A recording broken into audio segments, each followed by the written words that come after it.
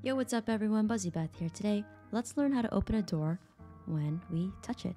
So first thing we want to do is inside of our workspace, let's go ahead and spawn in a part. This is going to be my very simple door, which is literally just a part. And then inside of our part, let's go ahead and add a script.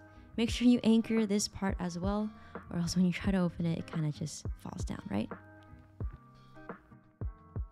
We have a variable which references our door part, and then we're going to go ahead and create a touched function where if a humanoid touches this part, then the transparency of our door is going to change to 0.5, can collide will be equal to false, wait 3 seconds, and then the door will revert back to its original properties, transparency is equal to 0, and can collide will equal to true.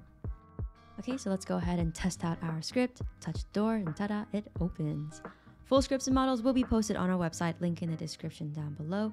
If you guys enjoyed this content, please give us a like and a subscribe. Have fun creating, and I'll catch you guys in the next video. Peace.